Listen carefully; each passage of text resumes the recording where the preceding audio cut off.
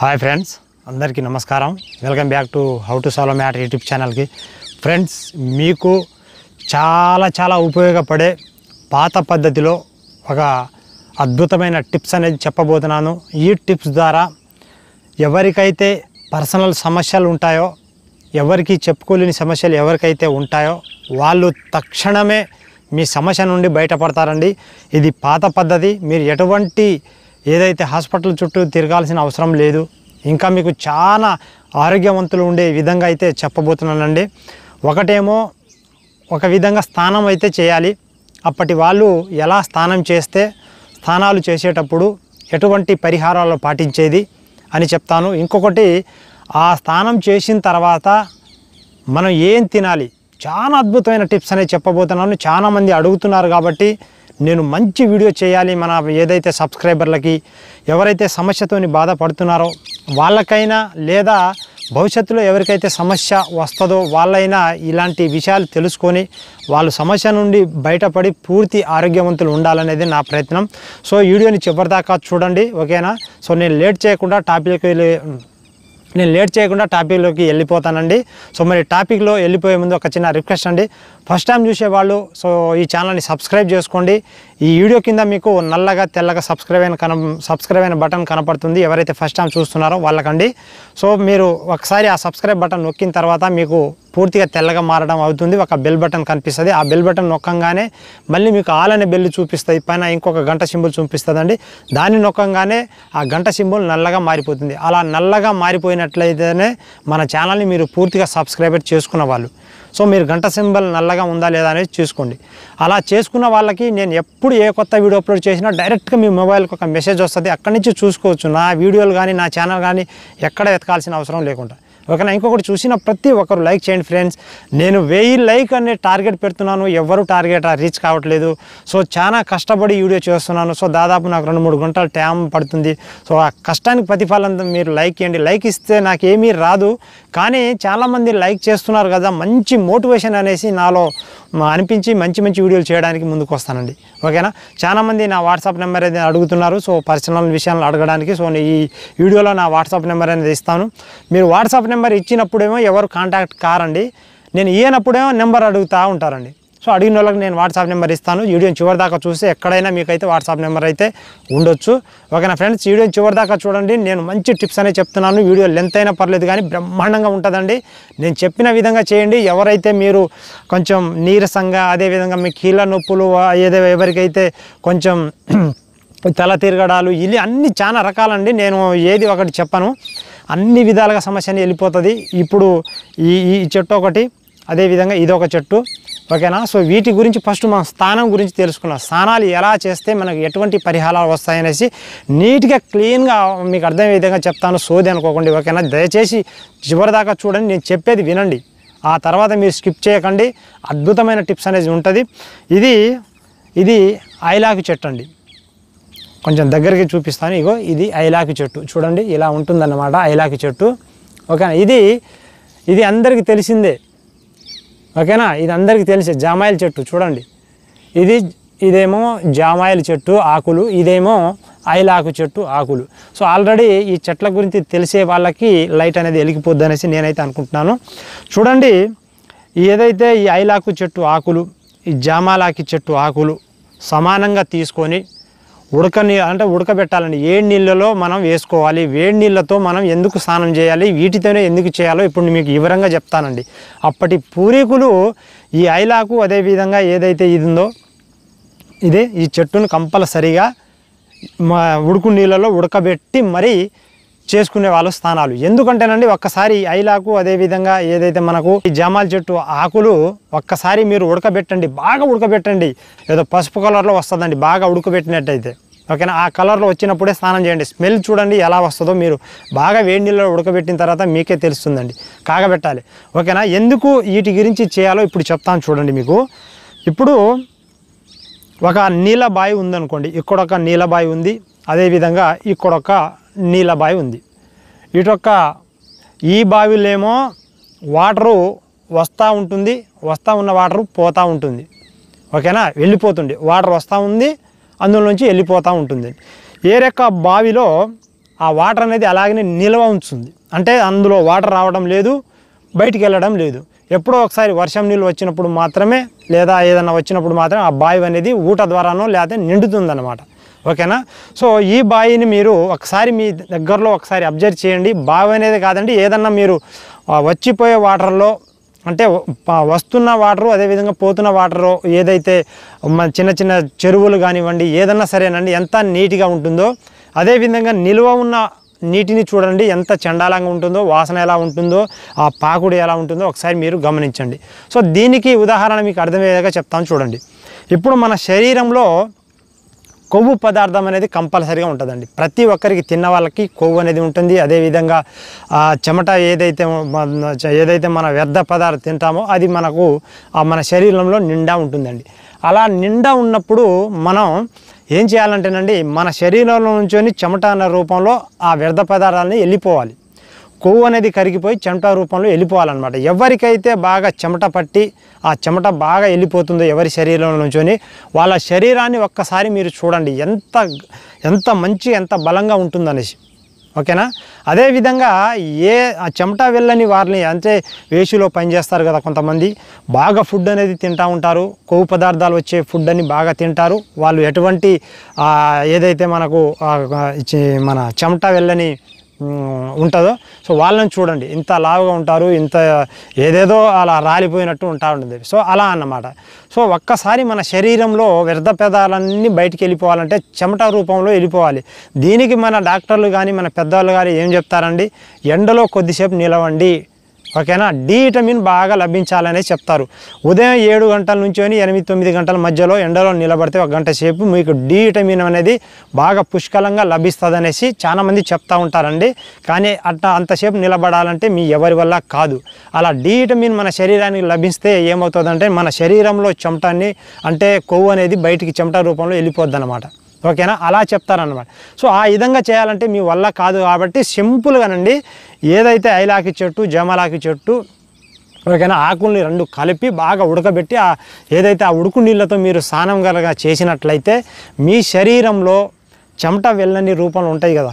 ఆ చెమట వెళ్ళిపోయి లేదా వెళ్ళకున్నా పర్వాలేదండి ఆ కొవ్వు అనేది కరిగిపోయి మన ఏదో మూత్రం రూపంలో ఏదో రూపంలో వెళ్ళిపోద్ది అనమాట అప్పటి వాళ్ళు అంత టెక్నాలజీ బాగా ఆలోచించి చేసేవారు.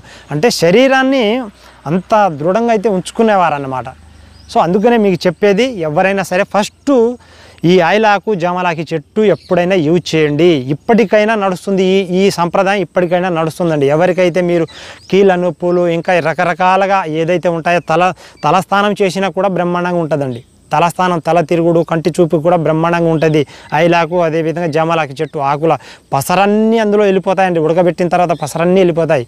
మేము ప్రతిరోజు అలాగనే చేస్తాం. మీకు ఒక ఒకసారి సింపుల్గా చూపిస్తాను నేను. ప్రతిరోజు మా ఇంట్లో అలాగనే ఉంటుందండి. ఓకేనా? సో ఈ ఫస్ట్ మీరు ఇది చేసిన తర్వాత మీ శరీరంలో చెమటాన్ని బయటికి వెళ్ళిపోవాలి.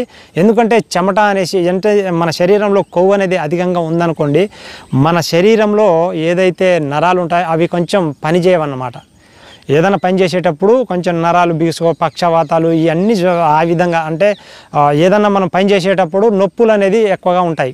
ఓకేనా? ఇది అర్థం చేసుకోండి మీరు. సో ఫస్ట్ ఎవరైనా సరే పాత పద్ధతిలో సింపుల్ అండి ఇది. ఐలాకి చెట్టు జామలాకి చెట్టు తీసుకురావడం నీళ్ళు వేయడం బాగా ఉడకబెట్టడం స్నానం చేయడం తలస్నానం చేయడం. ఓకేనా? ఇది ఒక పద్ధతి. అప్పటి వాళ్ళు చేసేవాళ్ళు ఇది. సో ఇప్పుడు నేను ఇంకొక పద్ధతి అండి. ఇది మన బయట నుంచి చెమట రూపంలో మన కొవ్వు అనేది వెళ్ళిపోతే బాగానే ఉంటుంది. ఇది బ్రహ్మాండంగా ఉంది. ఇది ఓకే. అప్పటి వాళ్ళు ఇలా చేసేవారు. ఇప్పుడు మనం లోపల నుంచి ఇంకా మన శరీరాన్ని మంచి బలంగా తయారు చేసుకోవడానికి ఏం చేయాలనేసి ఇప్పుడు చెప్తాను చూడండి. ఇప్పుడు నేను ఒకటి చూపిస్తాను దాంట్లో ఇంకొకటి కలిపి కనుక యూజ్ చేస్తే తిరిగిలేని ఆరోగ్యవంతులు అవుతామండి మనం తిరుగులేని ఆరోగ్యవంతులు అవుతాం. ఓకేనా? సో ఇప్పుడు నేను చూపిస్తాను చూడండి. చూడండి ఇప్పుడు మీ దీనికై ఇప్పుడు నేను చూపించబోయే చెట్టుకైతే అది లేకపోవచ్చు. సో మీకు చెట్టు అయితే చూపిస్తాను అన్నమాట ఆ చెట్టును చూపించిన తర్వాత మీరు మీ ఏరియాలో ఎక్కడైనా ఉంటే మాత్రం సో తీసుకోండి. సో దీన్ని మనం అలా రప్పించే విధానం కూడా చెప్తానండి. అంటే మనం ఎలా రప్పించుకోవాలి మనం ఎలా రప్పించుకుంటే ఎలా ఉంటుంది అనేది చెప్తానండి. ఇది చూడండి ఇది రేగు చెట్టు. నేను చెప్పబోయే చెట్టు ఇదేనండి. ఇగో రేగు కాయలు కూడా ఉన్నాయి. ఓహ్ ఇగో ఇగో రేక్కాయలు కూడా ఉన్నాయి. రేగు కాయలు. ఓకే? అడవిలో కాచే అంటే ఇది చూడండి సహజమైన చెట్టు అన్నమాట ఇది. రేగి చెట్టు సహజమైన చెట్టు అడవిలలో పెరిగే చెట్టు మీరేదో గంగరేగి పండ్లు అవి ఉంటాయి కదా అవి కాదండి నేను చెప్పేది. మన సహజంగా అడవిలలో పెరిగే రేగి చెట్టు గురించి మాత్రమే చెప్తున్నాను. ఇదే చెట్టు కావాలి ఇప్పుడు వచ్చేది సీజన్ కాబట్టి మీకు చెప్తున్నాను అనమాట ఓకేనా? దీన్ని వివరంగా మీకు అర్థమయ్యే విధంగా చెప్తాను.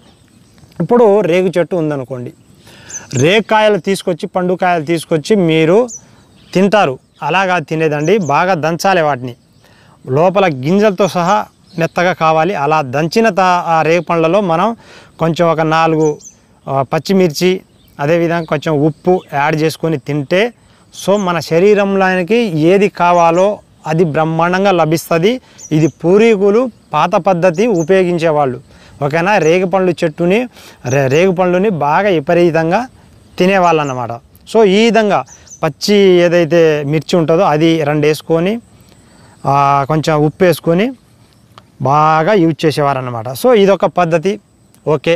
ఇప్పుడు అసలు మెయిన్ పద్ధతి ఏంటంటేనండి ఇప్పుడు రేగు చెట్టు రేగి చెట్టు చూడండి రేగు నేను ఒకేసారి చెప్తాను. ఇందులో ఒక్కొక్క మరి చాలాసార్లు చెప్పడం వల్ల నాకు యూట్యూబ్ అనేది వ్యతిరేకం చేస్తుందేమో.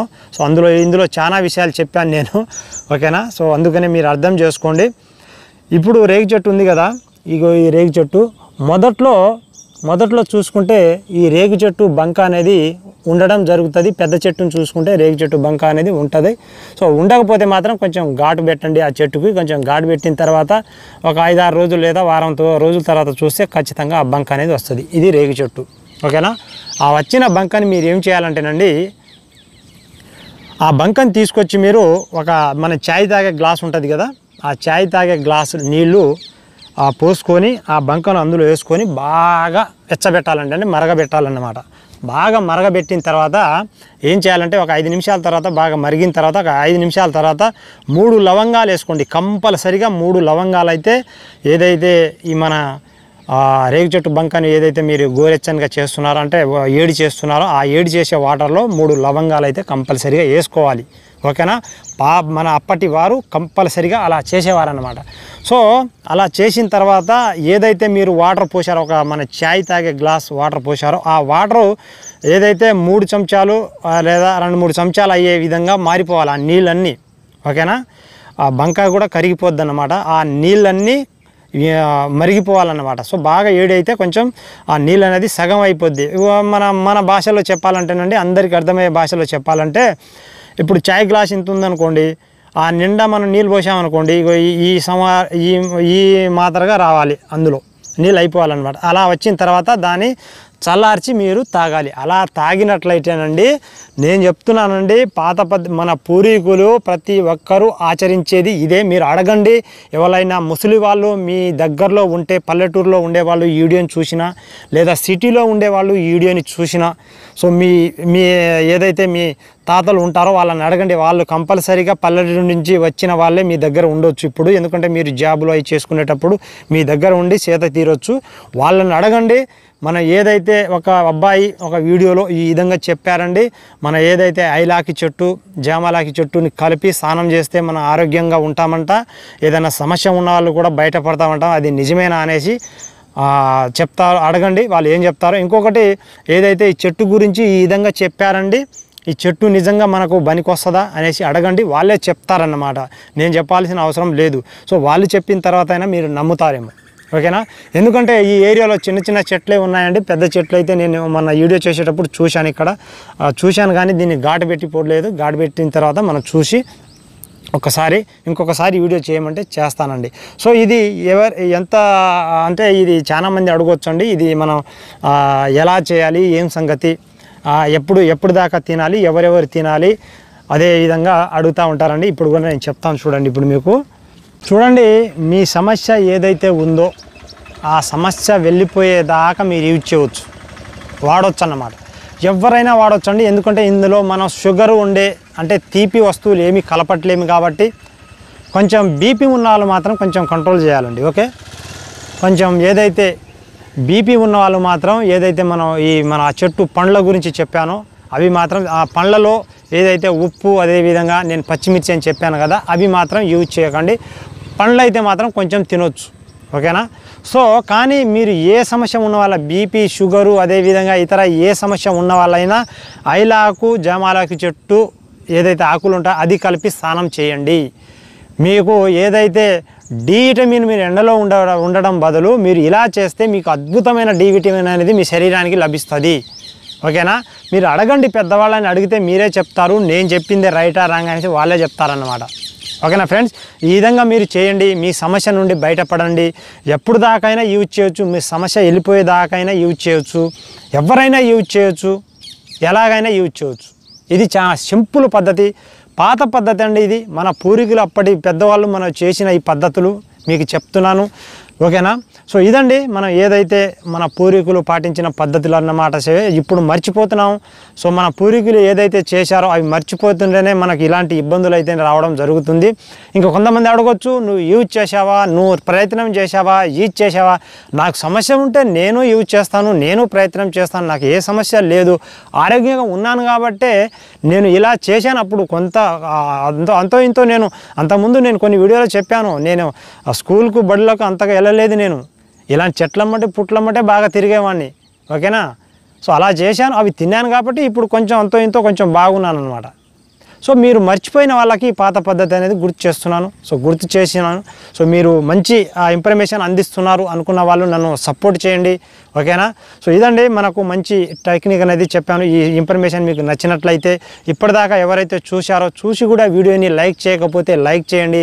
కొత్త వాళ్ళు ఇప్పటిదాకా చూసి కూడా మన ఛానల్ని సబ్స్క్రైబ్ చేసుకోకపోతే సబ్స్క్రైబ్ చేసుకొని బెల్ బటన్ని మాత్రం యాక్టివేషన్ చేసుకోండి. బెల్ బటన్ నొక్కిన వాళ్ళకే నా కొత్త కొత్త వీడియోలన్నీ రావడం జరుగుతుంది. సో ఓకేనా? ఈ వీడియో మీకు మంచిగా అనిపిస్తే ఇంకా మీకు కొంతమందికి షేర్ చేయాలి కొంతమంది తెలుసుకోవాలి మిత్రులు అనుకుంటే ఈ వీడియోని షేర్ చేయొచ్చండి. ఓకేనా? మరి నెక్స్ట్ వీడియో కోసం ఎదురు చూస్తూ ఉండండి. ఇంకొక మంచి అద్భుతమైన వీడియోతో ఇంకొక మంచి టిప్స్తో పాత పద్ధతిలో మీ ముందుకు వస్తానండి. అప్పటిదాకా అందరికీ బాయ్.